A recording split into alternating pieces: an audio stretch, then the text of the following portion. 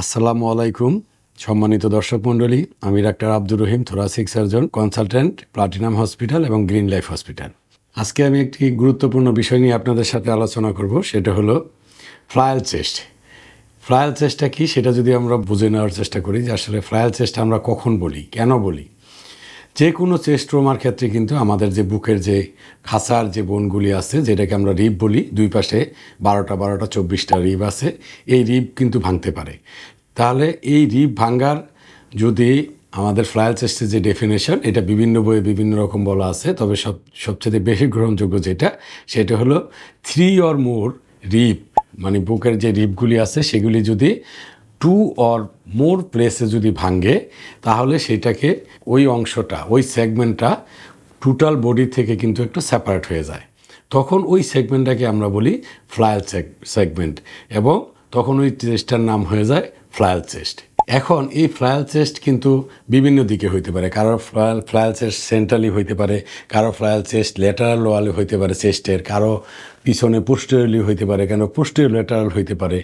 তাহলে এই লোকেশনের উপরে তখন আমরা বলি যে তার সেন্ট্রাল চেস্ট ফ্লায়াল চেস্ট নাকি লেটারাল ফ্লায়াল চেস্ট এই ফ্লায়াল চেস্টের ইনসিডেন্স কতটুকু? আমাদের হিসাব মতে যে যে আমরা যতগুলি রুগী এই চেস্ট ট্রোমার বুকের আঘাতের যত রুগী আমাদের কাছে ভর্তি হয়, তার প্রতি তেরোটা রুগীর মধ্যে একটা রুগী আমাদের কাছে ফ্লায়াল চেস্ট নিয়ে আসে। তাহলে আমাদের বুঝতে হবে যে এই ফ্লায়াল চেস্টের গুরুত্বটা কী। আরেকটা দুর্ভাগ্যর ব্যাপার বলি, এই যে যতগুলি রুগী আমাদের ফ্লায়াল চেস্ট নিয়ে ভর্তি হয়, আমরা যত ভালো চিকিৎসাই করি, এই রুগীগুলি কিন্তু তার মর্টালিটি বা ডেথ রেট কিন্তু অনেক বেশি। দেখা যায় অনেক ভালো চিকিৎসা, অনেক ভালো সেন্টারে চিকিৎসা করার পরেও কিন্তু টোয়েন্টি ফাইভ পার্সেন্ট রুগীকে আমরা বাঁচাইতে পারি না। তার মানে এখানে বোঝা গেল যে তার ডেথ রেটটা অনেক বেশি। সুতরাং এই ফ্লায়াল চেস্ট খুবই গুরুত্বপূর্ণ আমাদের জন্য, বিশেষ করে আমাদের চেস্ট সার্জনদের জন্য।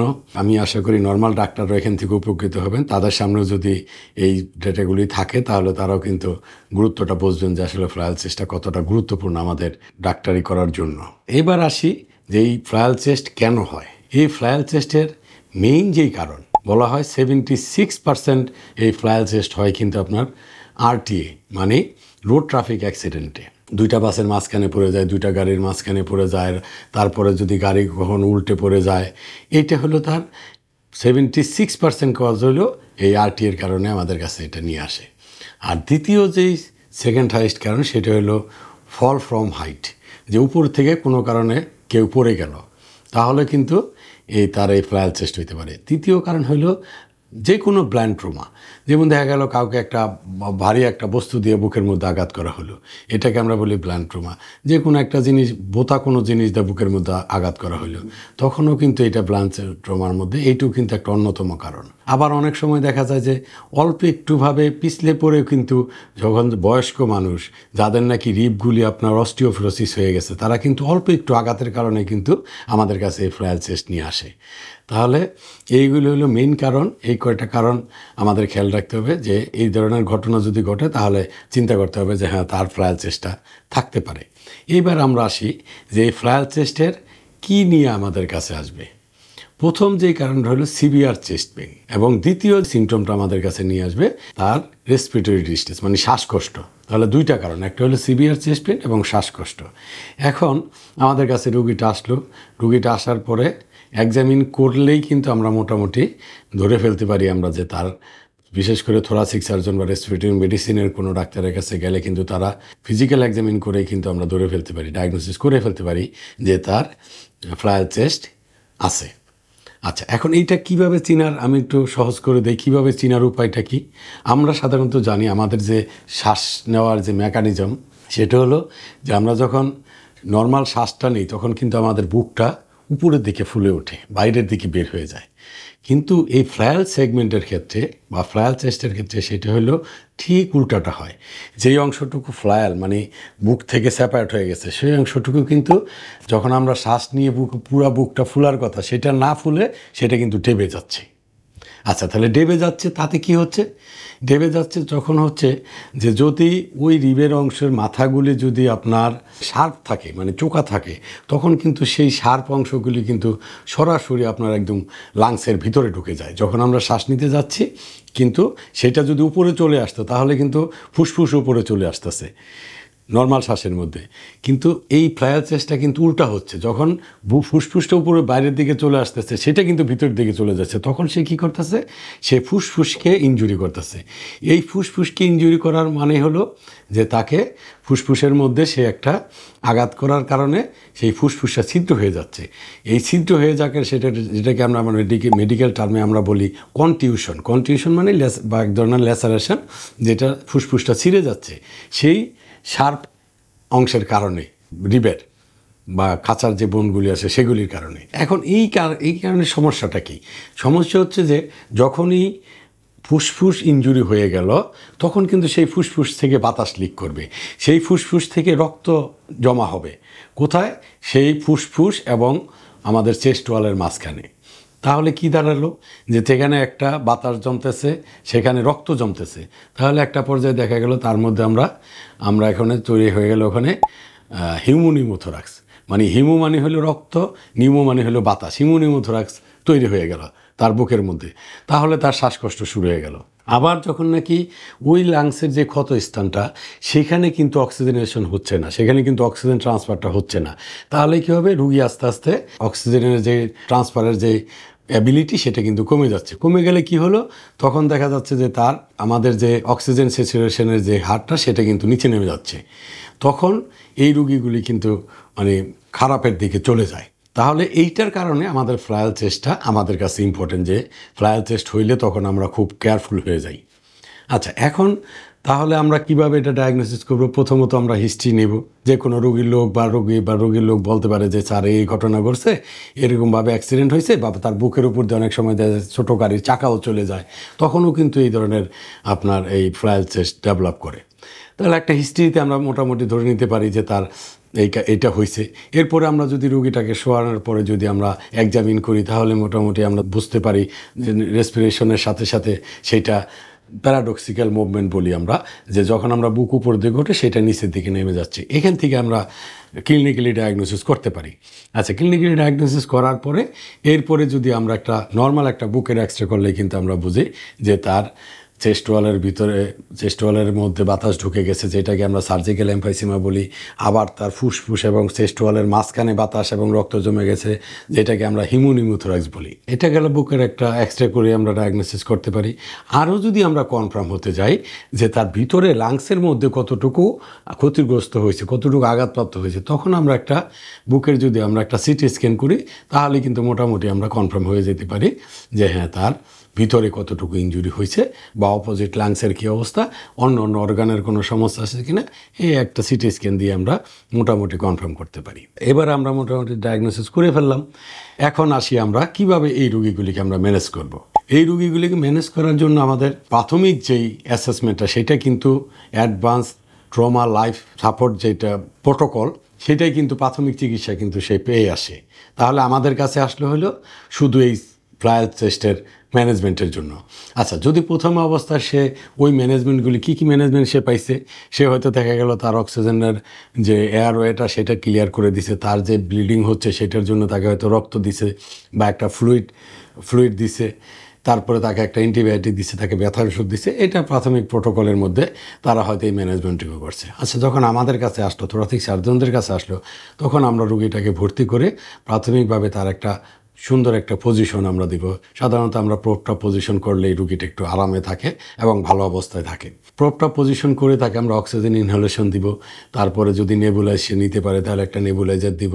তারপরে যেটা কি বেশি ইম্পর্টেন্ট সেটা হলো যেই পাশটা তার ইঞ্জুরি আছে, আমরা চেষ্টা করব সেই পাশটাকে সেই পাশটাকে কাত করে তাকে শোয়াতে।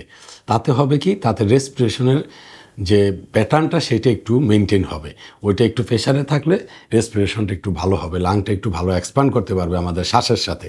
এরপরে দ্বিতীয় হলো যেগুলি করার পরে আমরা যেটা করবে তাকে একদম ভিগোরাস তাকে পেন কন্ট্রোল করতে হবে, ব্যথা। এই ব্যথার কারণে কিন্তু এত ব্যথা হয় এই রুগীগুলির মানে সে শ্বাস নিবে না তখন। তখন দেখা গেল এমনিতেই তার লাং ইঞ্জুরি আছে, তারপরে সে আবার এই ব্যথার কারণে শ্বাস নিচ্ছে না। তখন দেখা যায় রুগী আস্তে আস্তে আরও বেশি খারাপ হয়ে যাচ্ছে। এরপরে এই ব্যথার জন্য আমরা কি করতে পারি? ব্যথার জন্য ভালো ব্যথার ওষুধ দিতে পারি। এরপরে আমরা যেটা রিজিওনাল কিছু অ্যানাস্থেশিয়া দিই, যেমন আমরা এপিডুডালের মাধ্যমে বা লোকাল ব্লকের মাধ্যমে আমরা এগুলি ওই জায়গাটুকু অবশ করে রাখি যাতে তার পেন সেন্সেশনটা একটু কম হয়। এরপরে যদি আমরা দেখি যে না, তার এক্সরের মধ্যে তার বাতাস দেখা যাচ্ছে ভিতরে বা রক্ত দেখা যাচ্ছে, তখন আমরা একটা সুন্দর একটা চেস চেস ড্রেন বসিয়ে দিলে দেখা গেল ওই বাতাসটা এবং ওই রক্তটা যদি বের হয়ে আসে, সে আরেকটু সেটেল হয়ে যাবে। এরপরে দেখা গেল যে তাকে এইটার পরে আমরা তাকে আস্তে আস্তে যখন সে একটু সেটেল হবে, তার ব্যথাটা যখন কমবে, তখন আমরা তাকে রেসপিরেটরি আমাদের বিভিন্ন ধরনের এক্সারসাইজ আছে। কখনো কখনো আমরা নিজেরাই কিছু এক্সারসাইজ করি। থ্রি বল এক্সারসাইজ আরও কিছু এক্সারসাইজগুলি আছে যেগুলি ব্যাক করে তখন আমরা চেস্ট ফিজিওথেরাপিস্টের কাছে পাঠিয়ে দিই। তারা তখন তাদের মতো মোটামুটি তার অবস্থা বুঝে তখন এক্সারসাইজগুলি তার উপরে প্রয়োগ করে। এরপরে ভালো একটা অ্যান্টিবায়োটিক আমাদের দিতে হবে যাতে ওই অ্যান্টিবায়োটিকটা সব ধরনের অর্গানিজমকে কভার করে। এখন এইগুলি গেল যদি আমাদের কাছে থাকে মানে নর্মাল অবস্থায় থাকে, কিন্তু এই ধরনের রুগীগুলি বেশিরভাগ ক্ষেত্রে কিন্তু আপনার চলে যেতে হয় আমাদের আইসিউতে তখন আইসিউতে গেলে কি হবে? আইসিউতে গেলে আমরা স্টেটিক একটা ডাবল মেনেন্ডোট্রাকিয়াল টিউব দিয়ে তাকে একটা স্টেটিক একটা প্রেশারের মধ্যে রাখি যাতে লাংটা এক্সপ্যান্ড করার একটা শক্তি পায়। কারণ যেই লাংটা ক্ষতিগ্রস্ত, যেই লাংটা ভাঙা রিবের জন্য এক্সপ্যান্ড করতে পারতেছে না, সে কিন্তু নর্মাল শ্বাস নিতে পারবে না। তখন ওই যদি আমরা আইসিইউতে তাকে রাখি, তাহলে কিন্তু দেখা যাবে যে সে তার রেসপিরেশনটা তার একটু লেবার কষ্ট কম হচ্ছে, আমরা ওই আইসিউর মাধ্যমে তাকে আমরা শ্বাস প্রশ্বাস মেনটেন করার চেষ্টা করি। এরপরে যখন দেখা গেল যে কিছুটা সে সুস্থ হয়ে আসলো, এখন প্রশ্ন আসবে, তাকে কি আমরা অপারেশনে যাব না অপারেশনে যাব না? সাধারণত আমরা এটা বলি যে তিন মাসের মধ্যে বেশিরভাগ ক্ষেত্রে আমাদের আমাদের এক্সপিরিয়েন্স এটাকে বলে, তিন মাসের মধ্যে আমাদের যে ভাঙা রিপগুলি আছে, আমরা যদি এই জিনিসগুলি ভালো একটা অ্যান্টিবায়োটিক ভালো পেন কিলার ভালো চেস্ট এক্সারসাইজ দেওয়ার পরে চেস্ট ফিজিওথেরাপি দেওয়ার পরে কিন্তু তিন মাসের মধ্যে কিন্তু এই রিপ কিন্তু অটোমেটিকলি জোড়া লেগে যায়। এখন অনেকে বলে যে, স্যার, তাহলে এটার জন্য সার্জারি আছে সার্জারি করেন কি না। হ্যাঁ আমরা সার্জারিও করি। সার্জারি বেশিরভাগ ক্ষেত্রে যে সার্জারিটা করি, সেটা হলো যদি অন্য কোনো আঘাত ভিতরে থাকে মাল্টি অর্গান অনেক সময় ইনজুরি থাকে, যেমন তার ইসোফেগাসের ইনজুরি থাকতে পারে, তার ফুসফুসের, ফুসফুস অনেক সময় সিরে পড়ে যায় অংশ সিরে পড়ে গেল, তখন আমাদের আরও রক্তনালী সিরে যাইতে পারে, সেগুলির জন্য আমরা অপারেশন করি। আর সাধারণত রিপ রিবের যে অপারেশনগুলি আছে সেইটা ওপেন করে তারপরে আমাদের রিপগুলি আমরা জোড়া লাগানোর চেষ্টা করি। যে ভাঙ্গা এন্ডগুলি আসে, সেগুলি জোড়া লাগানোর চেষ্টা করি। এগুলির মধ্যে আবার অনেক কথা আছে যে যে কখন আমরা এগুলি করব। যখন দেখা যাচ্ছে যে কোনোভাবেই একটা রোগীকে আমরা আইসিইউ থেকে উইন করতে পারতেছি না এবং একটা পর্যায়ে তার, তাকে টাকিস্টমি করতে হচ্ছে, তখন আমরা চিন্তা করি যে তাকে আমরা চেস্ট ফিক্সেশনের জন্য আমরা রিপ ফিক্সেশনের জন্য আমরা অপারেশন যাব কি না এখন এই রিপ ফিক্সেশনের জন্য কিছু জিনিসপত্র লাগে। যে জিনিসগুলি আমাদের দেশে অ্যাভেলেবল কম, আমাদেরকে অর্ডার দিয়ে অন্য দেশ থেকে এগুলি আনানো হয় এবং সেখানে আবার অনেকগুলি প্রবলেম থাকে। সেটা হলো যে রিবের যে কার্বেচার যে বাঘটা, সেই বাঁকের মতো সেটা আনতে হবে, সেই রিবের মতো একজ্যাক্ট মাপের মধ্যে আনতে হবে এবং অন্য অন্য দেশের সুবিধা হলো যে তাদের নিজস্ব কোম্পানি থাকে। অনেক বড় বড় ভার্সিটির আন্ডারে তাদের নিজস্ব কোম্পানি থাকে। তারা ওই রুগী দেখে সিটি স্ক্যান যদি বনি কনস্ট্রাকশন দিয়ে আমরা থ্রি ডি বনি কনস্ট্রাকশন যদি আমরা থ্রি সিটি স্ক্যান করি, তাহলে কিন্তু দেখা যাবে যে ওই রিবের সাইজটা কতটুকু তার যে ক্ল্যাম্প লাগবে, কতটুকু তার প্লেট লাগবে, সেগুলি দিয়ে তারা তৈরি করতে পারে ইনস্ট্যান্ট কিন্তু আমাদের জন্য সমস্যা হলো আমাদের অর্ডার দিয়ে বাইরের থেকে আনাতে হয়। এই বিভিন্নভাবে এগুলি ফিক্সড করা যায়। কখনো কিছু কিছু ওয়্যার দিয়ে আমরা ফিক্সড করি, কখনো কখনো প্লেট প্লেট এবং স্ক্রু দিয়ে ফিক্সড করা হয়। কখনো কখনো ইন্টারমিডুলারি রিপের মধ্য দিয়ে আপনার নেল দিয়ে তারপরে ফিক্সড করে রাখা হয়। মূলত এই, এগুলি আমরা আমরা করে থাকি। এবং আরও যেটা বাইরের দেশে এখন নতুন বাইর হয়েছে যে যে ফিক্সেশনের যে ওয়্যারগুলি সেগুলি এখন অ্যাবজর্ব অ্যাবজর্ব হয়ে যায়। মানে ওগুলিতে ফিক্সড করার পরে আস্তে আস্তে এটা অ্যাবজর্ব হয়ে যায়।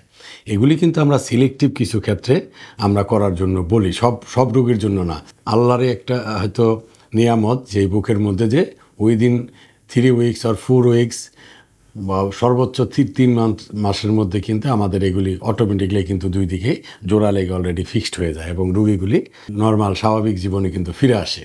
আচ্ছা এখন এই যে রিপ ফিক্সেশনের জন্য দুই ধরনের অপারেশন আছে, একটা হলো ওপেন অপারেশন, আর এখন আবার আরও অ্যাডভান্স বের হয়ে গেছে, সেটা হলো মিনিমালি ইনভেসিভ। ব্যাটসের মাধ্যমে কিন্তু এইটা করে আসতে পারি। এখন আমাদের মেন সমস্যা হলো আমাদের সেই উপকরণগুলি, আমাদের একটু সমস্যা, ওগুলি তখন আগে অর্ডার দিয়ে তারপর ওখান থেকে আনতে হয়। এই যদি আমরা এগুলি না করি, তাহলে কি হয়?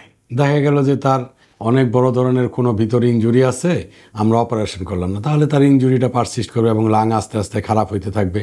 আর যদি এগুলি আমরা এই ট্রিটমেন্টগুলি যদি সময় মতো তাকে করতে পারি, এবং আমাদের বেশিরভাগ রুগী কিন্তু আমাদের ভালো হয়ে যায়। আমি এর আগে বলছি যে, যত ভালো ট্রিটমেন্ট করার পরও তার তারপরেও কিন্তু আমাদের টোয়েন্টি ফাইভ পার্সেন্ট রুগীকে আমরা হারায় ফেলতে হয়। এই টোয়েন্টি ফাইভ পার্সেন্ট রুগী কিন্তু যে শুধু এই ট্রায়াল টেস্টের জন্য আমরা হারাচ্ছি তা কিন্তু না। সাধারণত এই ধরনের রুগীগুলিতে মাল্টি অর্গান ইনজুরি থাকে। কারও হার্ট ইঞ্জুরি থাকে, কারও গ্রেট ভেসেল ইঞ্জুরি থাকে, কারও ফুসফুস ইঞ্জুরি থাকে, কারও ইসোফ্যাগাস ইঞ্জুরি থাকে, কারও আরও অ্যাবডোমেনের মধ্যে অনেক ইঞ্জুরি থাকে, তারপরে অনেকের ব্রেন ইঞ্জুরি থাকে। ব্রেন ইঞ্জুরির সাথে ফ্রায়াল সেগমেন্ট এখন দেখা গেল আমরা ফ্রায়াল সেগমেন্ট চিকিৎসা করলাম, কিন্তু রুগী হয়তো অন্য কারণেও মারা যাইতে পারে। তাহলে এই গেল আপনাদের উদ্দেশ্যে আমার এই ফ্রায়াল সেগমেন্ট সম্বন্ধে আলোচনা। এরপরে যদি কারও কোনো কোশ্চেন থাকে, আমাদের স্ক্রিনে দেওয়া নাম্বারে ফোন দিলে আমরা হয়তো সেটা শেয়ার করার চেষ্টা করব। ধন্যবাদ সবাইকে। সবাই ভালো থাকবেন, সাবধানে থাকবেন, যাতে ট্রায়াল টেস্টের আমাদের না পড়তে হয়। ধন্যবাদ সবাইকে।